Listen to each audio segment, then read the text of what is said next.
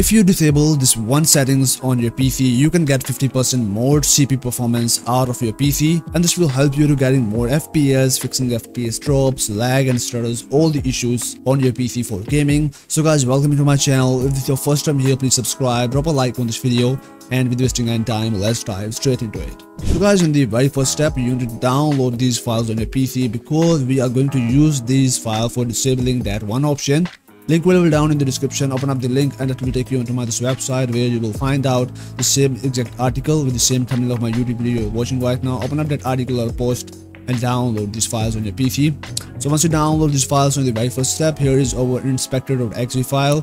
So simply open up this file and most important make sure run this as administrator.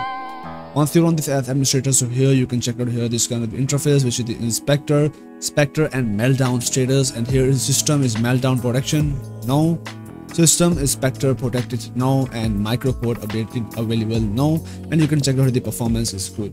So now what you need to do guys you need to disable these option like i have already disabled this option like if you click on this option so you can check it out here. This is disabled by default. So you need to disable these option from here and set these option onto the no. And after that click on this active button. And guys for some people this not work so i'm gonna show you a manual method. So for that you need to open up this txt file and simply copy this command from here. Right click here go for copy. Now go for your windows search search for cmd and run this as administrator. Then paste here this command and press enter. And the operation is completely successful.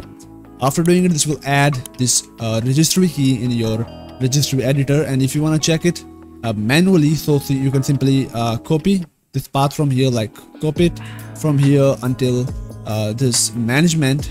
Now go for even the search and search for registry editor yes paste here this path and it will take you into this directory. There you'll find out the feature settings overloaded and here is the settings which will be applied once you run that command. And if you want to revert the settings if you have any kind of problem so simply go for modify and change this value data onto the zero and disable the settings then click on this ok button and close out it and guys most important after applying these settings you need to now one time restart your pc therefore you can get more performance out of your pc i hope so you love this video. Please make sure drop a like on this video.